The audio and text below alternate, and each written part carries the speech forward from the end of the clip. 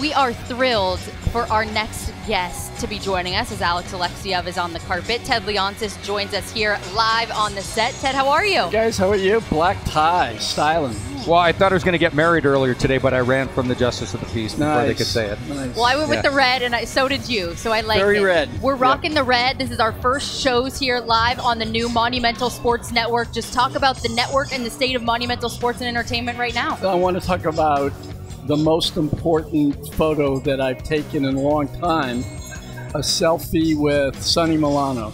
We love it. Okay? You got to come in. That is a head of hair. I don't know how he does it every day, but you know, it doesn't. You can never tell if he's been out late, if he did anything before he came to the ring, because it always looks the same. Always bedhead. It's fantastic. Well, look, fans got to get their hands on the chia planter that's going to be coming out later That's- this season. Maybe be that's a little promo there. Yep. All right, and I guess we're going to get a live look at Sonny Milano on the red carpet. That's great. But Ted, you taking the photos with the fans. Just what does this mean to you to see all these fans and the players out here for another opening night? you know, this is my honest favorite, favorite time of the year.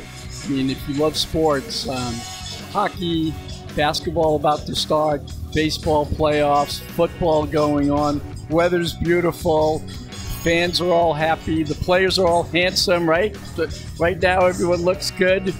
And, um, you know, this is the first season in a long, long time that I feel really, really relaxed. After reading all of the predictions, I feel absolutely no pressure, right? Oh, there is no on pressure you. at all. I wonder. This guy Ovechkin now is kind of an anchor. Before we couldn't win with them, and, Yes. and now he's kind of dragging the team down. Yeah. We, we look at him though, chasing the milestone and having a healthy Nick Backstrom back, and John Carlson, the guys that have been around here for a long time. How important it is to you that these guys all finished their careers as Washington Capitals?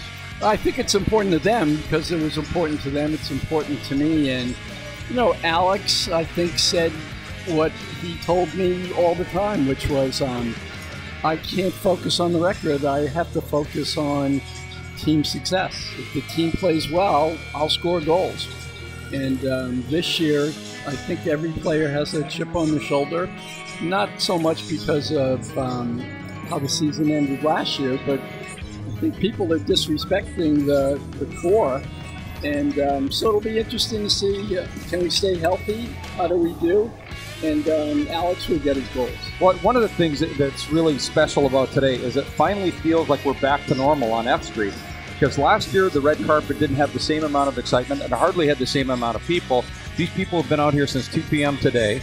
It's absolutely jam packed. It reminds me of the spring of 2018, and it feels normal. Now we go into with a healthy hockey team. Last year, it was like the walking wounded. There were players sick. There was COVID coming around again.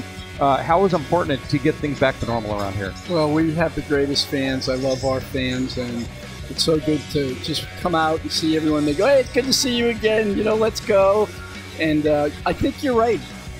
COVID really had a hangover, and this is the first year that feels totally back to normal pre-COVID. Uh, no one's thinking about it. You don't see anybody in masks. Um, people are just focused on having a good time, being amongst their friends. I mean, the reason that they're all out here, and we've had our greatest um, fan activation. We've had the most fans, most turnstile clicks in the buildings right now, uh, just because the fans are excited to be with one another and then come watch the game.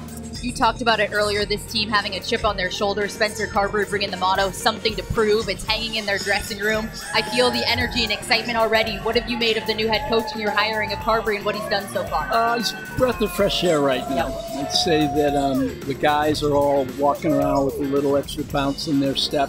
Um, I think you know you can have a team and a system that leans in and lets you play to your skill and strengths, and then another that's more defensive and very very focused on the the X's and O's and the real system play.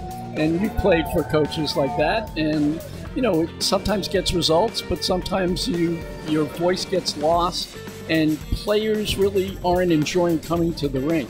And I sense this year um, so far that players are really happy to be skating. I think the fans are going to absolutely fall in love with Spencer because he's so personable. Every interview that he does, he's upbeat, he's informative. And then with the players, I don't put a whole lot of stock into practice when I go. But since I've been back and watching the practices, Yeah. they're so up tempo.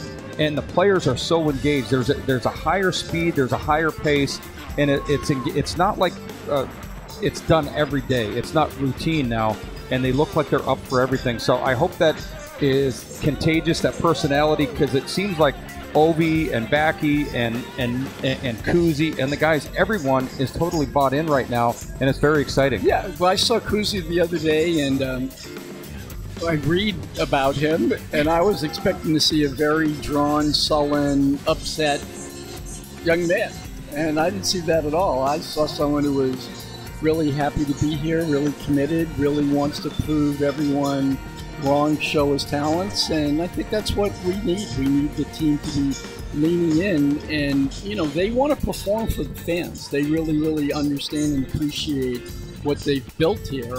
And as you said, fans are out here at two o'clock today. They can't wait to, for the game to start. Well, just like the fans are back to smiling, so are the players. So they, I think it's always important. And take for my career, when it's miserable going to the rink, when you're not happy, when there's always feels like a dark cloud. There's there seemed like like there was a lot of drama last year, and right now everyone's on the energy. It, it's a great energy yeah, right that's now. a good, and good way to put it. It's a very positive, good energy. I feel the good energy. These guys are ready. Ovi may be in season 19, but it feels like season one. I know it's amazing, right? Amazing. that interview when um, when he was like, "When did you come into the league? 2004. When were you born? 2004." I went, "Oh, jeez, Yeah, I'm he's old." playing with kids that watch him. The Capitals and the Penguins opening night and our first shows here on Monumental Sports Network. Ted, thank you so much for Thanks, stopping thanks by. for doing Thank a you. good job. Can't wait for the year. Thank you. Let's really go. appreciate the honest conversation.